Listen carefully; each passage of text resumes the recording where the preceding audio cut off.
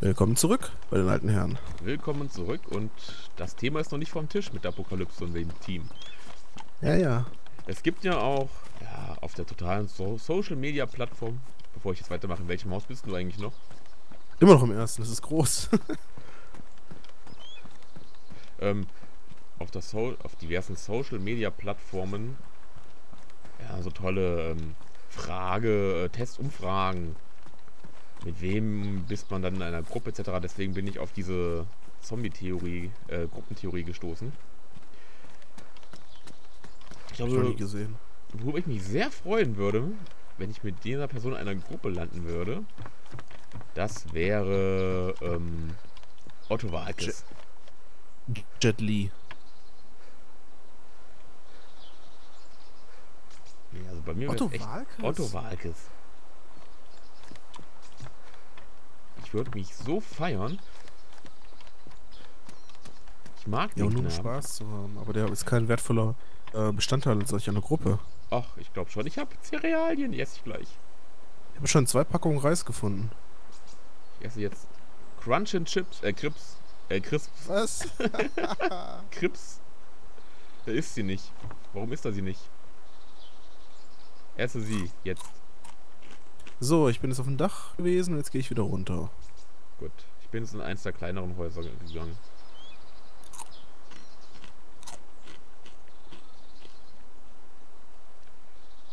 Springmann. Von der Leyen, mit Frau von der Leyen, die hätte ich gerne in der Gruppe. Ich auch. Zweites Zombie-Opfer. Das wäre die, ja, das wäre die erste, die ich sofort in die nächstbeste Meute reinschubsen würde. Und zwar am besten noch in eine Meute von Kinderzombies. Oh. Wegen ihrer tollen Familienpolitik, die sie Oder hatte. Soldatenzombies. Kindersoldaten-Zombies. Dann müssen wir nach Afrika gehen. Ah, stimmt. Nee, so weit will ich nicht reisen. Ich muss gestehen, sollte so eine Apokalypse sowieso ausbrechen, ich habe, rechne ich mir keine großen Chancen aus, sowieso drei Tage lang zu überleben. Definitiv. Ja, das könnte schwierig werden. Ich bin leider auch kein Prepper, das heißt, ich habe gar nicht das Zeug, um sowas zu überleben. Keine Waffen etc. Gut, ich habe hier Schwerter hängen, aber damit kommt man auch nicht weit bei der Zombie-Apokalypse. Wenn man damit nicht gut umgehen kann. Wenn es nur ein oder zwei sind, dann hast du vielleicht nur Glück. Aber wenn dann mehrere auf dich zukommen. Ja, irgendwann geht einem ja die Nahrung aus, ne? Und dann muss man raus. ja. Und dann sind die Supermärkte wahrscheinlich eh schon gelootet. Ich glaube, du bist dann der erste Mensch, der in einer richtigen Apokalypse vom Looten spricht. Naja, ich glaube, es gibt sehr viele, die vom Looten sprechen. So, ich gehe jetzt in die zweite Bude. Oder warst du da schon drin? Also dem gegenüber von dem ersten war ich. Okay, wo bist du jetzt? Jetzt bin ich in dem kleinen Haus daneben. Okay, dann gehe ich ins dritte große. Geh du in das dritte große. Ah, ich check erstmal die Autos hier. Vielleicht ist ja jetzt mal irgendwas drin. Da habe ich schon lange nichts mehr gefunden, muss ich gestehen. Ich auch nicht leider.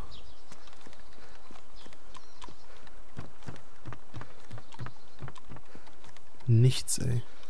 Und ganz ehrlich, Einmal hat man so richtig guten Loot, ne? ja. Ja, stimmt, das war in dieser einen Hinterwäldlerstadt. Mhm. Okay, Hinterwäldlerstadt klingt jetzt ein bisschen blöd, das gebe ich zu. Das nehme ich jetzt offensichtlich noch nicht zurück. In der Stadt, im Hinterland. Okay. Und muss zugeben, ich würde auch niemals einen meiner Eltern in dieser Überlebensgruppe haben wollen. Mhm, ja. Ich würde mich irgendwann, glaube ich, so mit denen fetzen, dass, er, dass entweder ich von ihnen weggeschubst werde in so eine Meute rein oder umgekehrt. Ja, das wäre so ein Thema. Aber wenn ich wirklich gerne dabei hätte, das wäre Jet Li, Jackie Chan und Steven Seagal. Oh ne, Steven Seagal nicht, der ist mir zu alt geworden. Also der. Ja, oh, die sind oh, alle drei alt. Ja, aber den an ersten beiden sieht man noch ihre Kannst du Fitness Justin an. Bieber mitnehmen? Der Justin Bieber. Okay, also mit Matchsticks kann ich keinen Firewood anzünden, leider. Okay. Ähm, Vielleicht, wenn ich es in die Hand nehme. also Steven Seagal sieht man eindeutig an, dass er zum nicht mehr definitiv nicht mehr der fitteste ist. Im Gegensatz zu Jet Li und Jackie Chan, dem man das zwar das Alter ansieht, aber auch noch weiß oder ansieht, dass sie fit sind. Weitaus fitter Aber als Seagal. von Steven Seagal könnte man vielleicht das eine oder andere noch lernen. Auch wenn er alt ist, er hat ja immer noch die Moves drauf.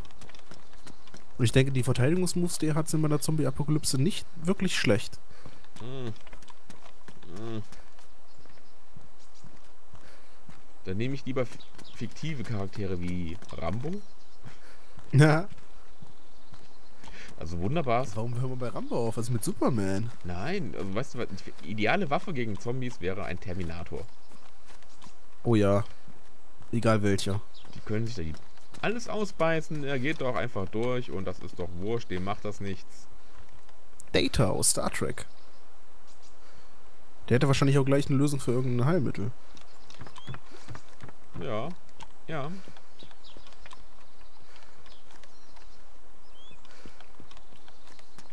Ich hätte gerne den Joker. hätte ich lieber Batman. Hm. Der hat da auch eine hundebisssichere Rüstung.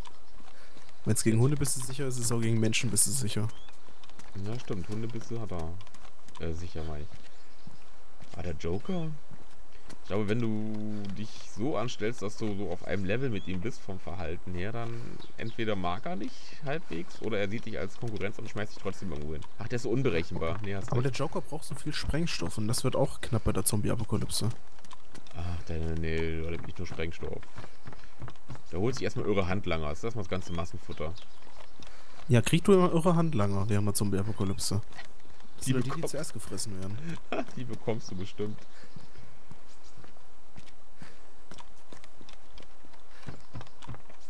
Ich hätte gern Peter Pan.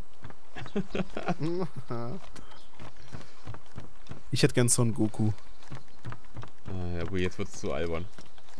Ja.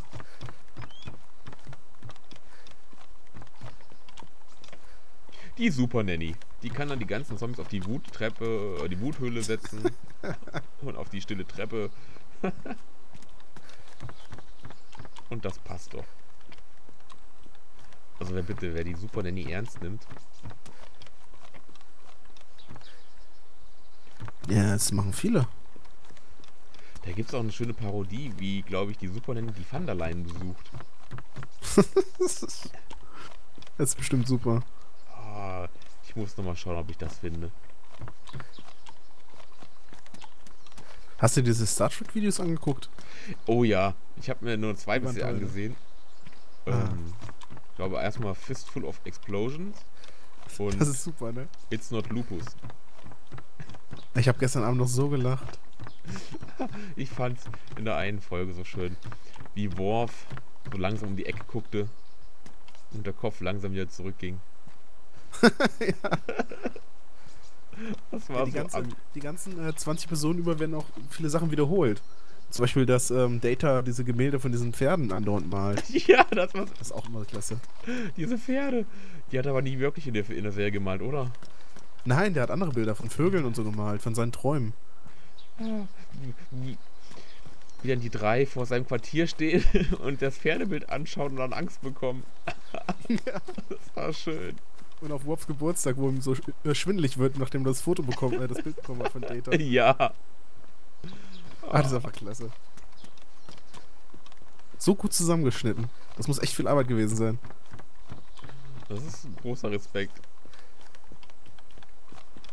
Also äh, Streichhölzer und Feuerholz funktionieren nicht. Na gut.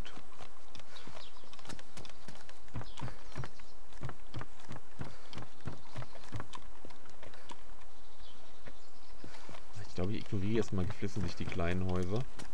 Und gehst du mal eins der großen. Ich finde ja auch nichts bei den Großen.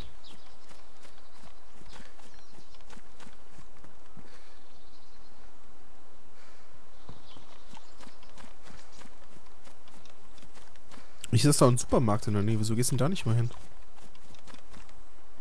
Ah, mach ich gleich. Ah, pass auf, nee, nicht, dass andere Spieler triffst. Ich hab geschossen, falls du es gehört hast. Ich höre hier nichts, ist zu weit oben. Das habe ich jetzt gehört. M4. Ja, das war ich. Oh, wie viele sind denn hier noch unterwegs? Oha, ich traue mich gerade wieder auf den Balkon. In die Armbeuge und er ist tot. Hm, ich höre dich schießen, sehe aber nichts. Ich bin auch schon längst weitergegangen. glaube, ich habe gerade die Garagen gefunden. Da sind immer schön viele Motorradhelme drin, wenn du einen brauchst. Yay, Essen!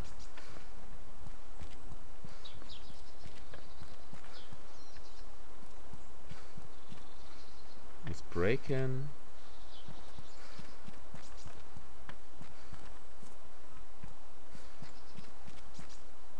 Hm.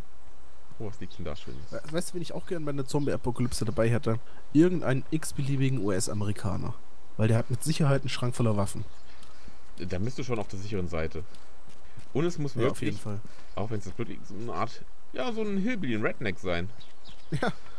Also, Er kann doch ein New Yorker sein, der hat bestimmt auch eine Pistole im Schrank oder nur im Ja, aber die. Rednecks, die können sich in der Wildnis aus. Die äh, haben jeden Texaner. drauf. George Ja, W. Bush. klar. Da würde ich auch einen George W. Bush nehmen. Ich glaube, da weiß nämlich ganz gut damit umzugehen. ja. Ja, echt, wir, wir Deutschen werden aufgeschmissen. Hier hat fast niemand eine Feuerwaffe. Ich glaube, das erste, was ich machen würde, wäre das entweder das nächste Polizeirevier anzugehen oder den nächsten Schützenverein. Ich würde nach Kassel fahren, zu Franconia Jagd. Die haben auch Waffen. Ja, Und hoffen, dass da noch kein anderer war. Ah, Wahrscheinlich wirst du abgeknallt, wenn du dahin fährst. ja, ja. Dann lieber hier den örtlichen Schützenverein plündern. Ja, aber da gibt es ja auch nur Kleinkaliberwaffen, ne? Ich weiß nicht, ob die für Zombies dann gut wären. Also die haben ordentlichen Wumms. Und auch so eine Part Kleinkaliber. Wenn das Ding, wenn du damit jemanden, das soll natürlich keiner machen, ins Gesicht triffst, dann war's das. Oh, boah, fast runtergeflogen hier. Ja, aber wir sterben davon, aber ein Zombie? Hm, Hallo, man müsste es natürlich. mal ausprobieren bei einem Zombie.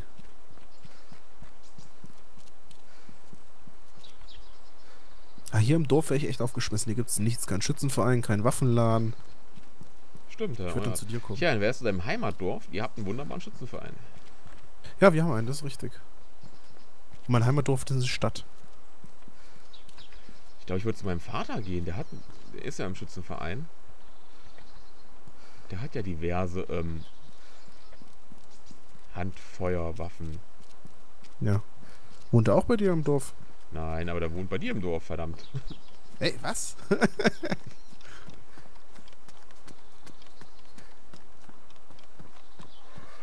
Oh, wo ist denn der jetzt schon wieder? Da! Nein, nicht knien, schießen! In die Kniebeuge! Das muss was... was laufen, laufen, laufen! laufen und drehen und anvisieren und... Zwei Oh, Schuss. du verschießt die ganze gute Munition. Ich habe drei Schuss gemacht, weil der erste daneben ging. Nimm die Axt. Das Lass ist ein mich- Zombie. Ja, lass mich doch mal. Zielübung. So, ich gehe ins nächste, dritte, ins nächste, vierte große Haus. Oder bist du da schon gewesen? Nein, aber ich glaube, ich habe das Schulgebäude gefunden. Da gehe ich jetzt rein. Und da war noch keiner. Da sind auch mal viele M4s im Schulgebäude. Hast du das? Ja, ich habe die Pistole rausgeholt. War aber keine gute Idee. Auf den Kopf zielen. Ich glaube, damit kannst du momentan kannst du hinschießen, wo du magst. Sie kippten definitiv um. Aber weißt du, bei einer Zombie-Apokalypse, das erste, was du machen musst, ist erstmal zum Supermarkt fahren. Du brauchst richtig Und Nahrung, klauen, was da ist. Batterien. Ich würde mir sogar Taschen. Ich habe eine Taschenlampe mit Batterien auf jeden Fall. Ja, Batterien Wasser. und Wasser. Ganz viel Wasser. Wasser, Wasser, Wasser ist Krankenhaus! wichtiger wie Essen. Weil die öffentliche Wasserversorgung wird dann irgendwann aufhören.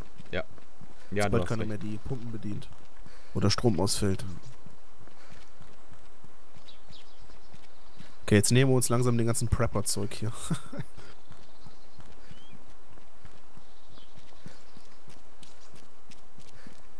Ach, Es gibt ja so viele Amis, die sind so krasse Prepper. Gibt da so eine Sendung im Fernsehen. Die Prepper heißt die. Oder Preppers. Das ist Wahnsinn, was die alles machen. Die bereiten sich auf Atomschläge vor, Tsunamis, Vulkanausbrüche, Erdbeben, alles, was man so äh, erleben kann. Tja, Da haben die wochenlang oder sogar monatelang Essen und Trinken gebunkert. Und Waffen, Munition, alles, was man so braucht zum Überleben. ja, vielleicht auch nicht ganz verkehrt in gewissen Zei- Zeiten. Ja, Ich meine, ich, hab- ich finde das okay, wenn man ein bisschen. Oh, Ah. Message received. Oh, oh, ja, bitte. Balota, Ähm, Balota. Airfield meine ich. Exit. Erstmal muss ich jetzt exiten. Äh, wir können hier gerade mal eine du Aufnahmepause machen, oder? Ja, ist eh gerade. Wir sind wieder eine Viertelstunde unterwegs. Das ist Ja. eine Kurzepisode, aber machen wir Bis das zum nächsten Mal. Macht's gut. Tschüss.